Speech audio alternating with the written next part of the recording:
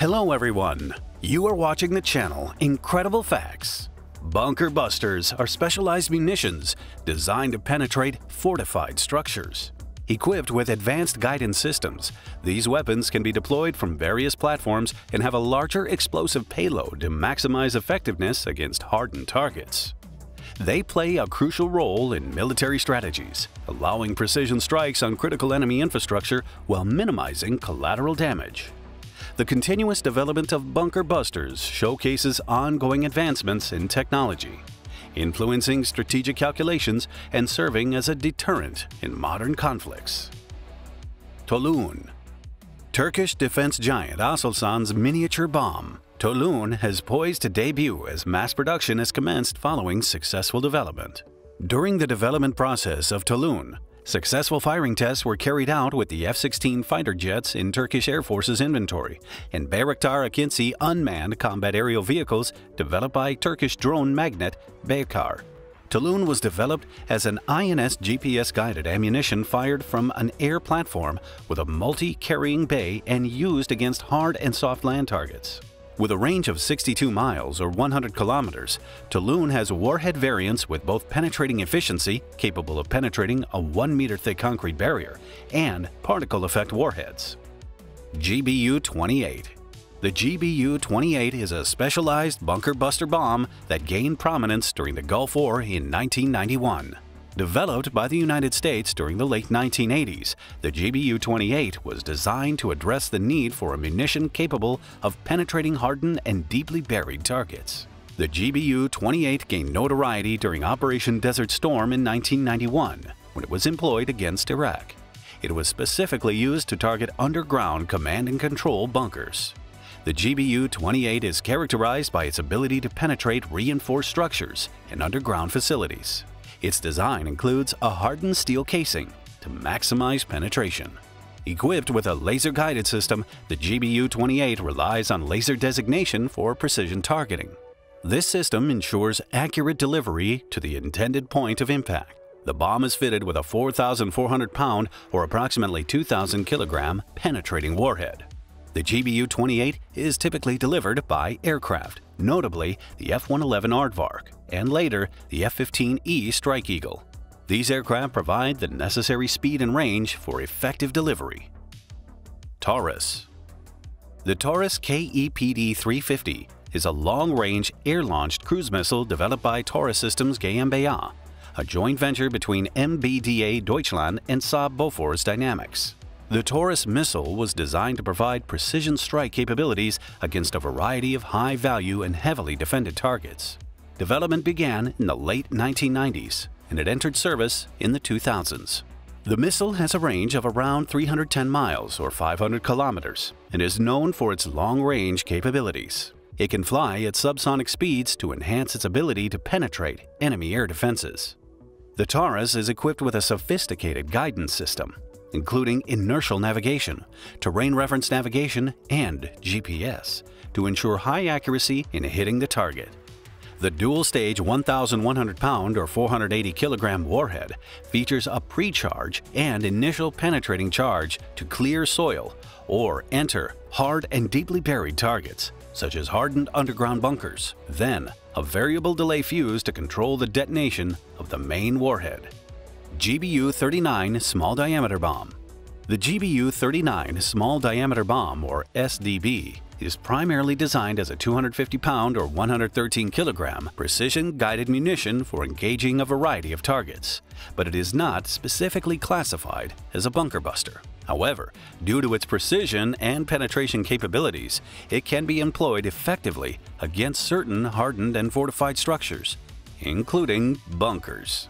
The GBU-39 is a compact munition with a smaller size and weight compared to larger bunker busters. Its smaller profile allows for multiple munitions to be carried on a single aircraft. The bomb is equipped with an inertial navigation system and a GPS system, providing precise guidance to the target. This accuracy is crucial when targeting specific points within bunkers. The bomb is designed to destroy a variety of targets, penetrate over 4 feet or 1.2 meters of steel reinforced concrete while inflicting minimum collateral damage from ranges of 69 miles or 111 kilometers. The small diameter bomb's smaller size and weight contribute to its cost effectiveness, making it an attractive option for military planners aiming to optimize resources while maintaining precision strike capabilities. Rafael Spice The Rafael Spice, or Smart Precise Impact Cost Effective, is a family of precision-guided munitions developed by the Israeli defense company Rafael Advanced Defense Systems. Spice munitions are designed to provide accurate and effective targeting of a variety of objectives. The Spice munitions are designed with a focus on deep penetration capabilities. They have the ability to penetrate hardened or fortified structures, including bunkers and underground facilities. The Spice family includes different variants, such as Spice 1000, approximately 1,000 pound class munitions, and Spice 2000, approximately 2,000 pound class munition. Each variant is designed for specific roles and target types. The Spice munitions have been used by the Israeli Defense Forces in various conflicts. They have demonstrated their effectiveness in real-world scenarios, showcasing their precision and ability to engage targets with minimal collateral damage.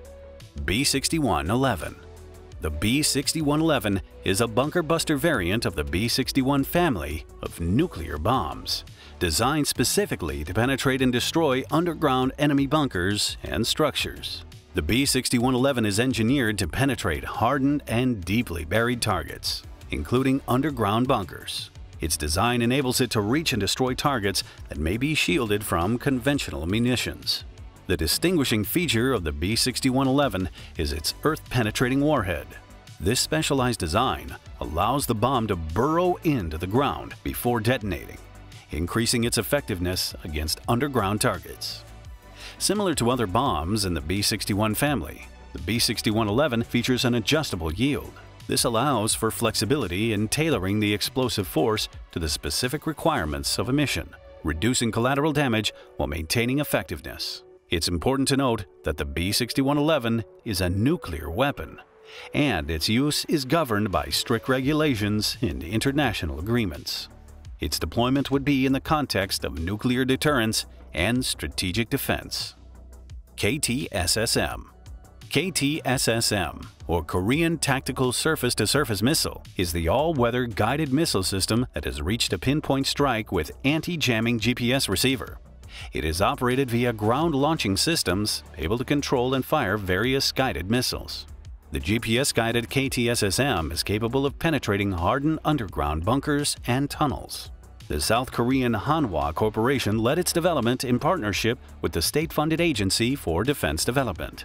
It can strike a target up to 112 miles or 180 kilometers away within 2 meters or 6.5 feet. Four missiles can be fired simultaneously from a fixed launch pad. The new upgraded KTSSM-2 is likely to have a range of 186 miles or 300 kilometers. AGM-154 Joint Standoff Weapon the AGM-154 Joint Standoff Weapons, or JSOW, is part of a family of low-cost air-to-surface glide missiles manufactured by Raytheon. It was developed primarily for the U.S. Armed Forces. More than 400 JSOWs have been used in combat operations, of which more than 300 missiles were launched during Operation Iraqi Freedom. The AGM-154 was also deployed in Operation Desert Fox, Operation Southern Watch, NATO's Operation Allied Force, and Operation Enduring Freedom. The bunker buster variant of the JSOW is equipped with a hardened penetrator warhead designed to breach fortified structures. This warhead type allows the JSOW to penetrate the target before detonating. The JSOW has a range of several tens of miles, depending on the variant. Its versatility makes it suitable for engaging a wide range of targets, including enemy defenses, armored vehicles, ships, and bunkers. GBU-57AB Massive Ordnance Penetrator. The GBU-57AB Massive Ordnance Penetrator, or MOP, is a U.S. Air Force precision-guided bunker buster bomb developed to address the need for a munition capable of penetrating fortified and deeply buried targets. The GBU-57AB is one of the largest non-nuclear bombs in the U.S. arsenal weighing around 30,000 pounds or 13,600 kilograms. The GBU is one of the heaviest conventional munitions in the world. Its size contributes to its ability to penetrate deeply buried targets. The bomb features a thick, hardened steel casing designed to withstand the stress of penetrating layers of rock, concrete, or soil before detonating its explosive payload.